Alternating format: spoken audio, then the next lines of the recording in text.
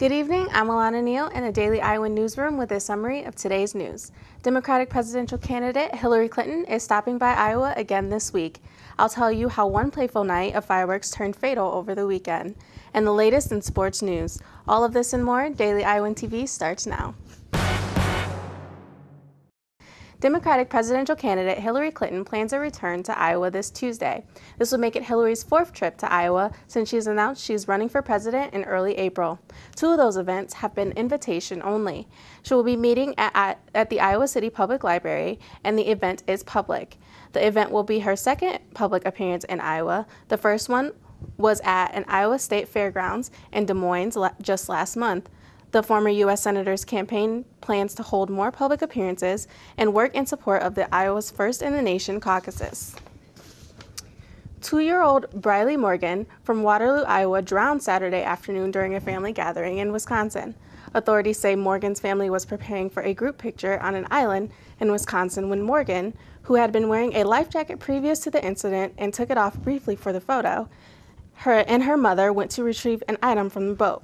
Morgan's mother later found her daughter under the boat in the water. Streets were blocked off this weekend for Iowa City's 25th annual Jazz Festival.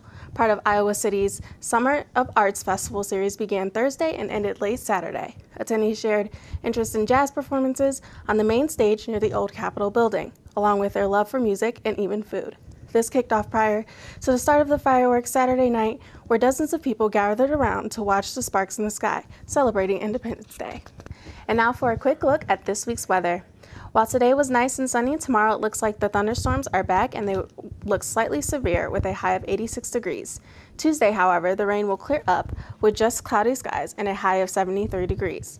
Wednesday, the sun will peek out of the clouds for just a little while with temperatures in the low 70s, but you can expect a little bit of rain later that night, and that rain will turn into more thunderstorms for Thursday and Friday. But we are ending on a good note as Saturday, the sun will be back again with a high of 85 degrees. The surviving escapee from the New York prison, 35 year old David Sweat, will now spend 23 hours a day in a maximum security cell. Sweat, who is serving time for killing a sheriff's deputy, will join about 150 men in the special housing unit. The prisoner will spend nearly all of his time and daily activities in the 105 square foot cell that contains a bed, sink, and a shower.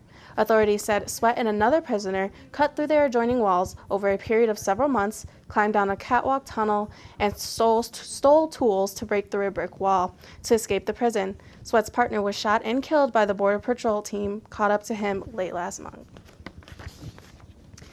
While celebrating Independence Day can be all fun and games, fireworks can be dangerous when not handled properly.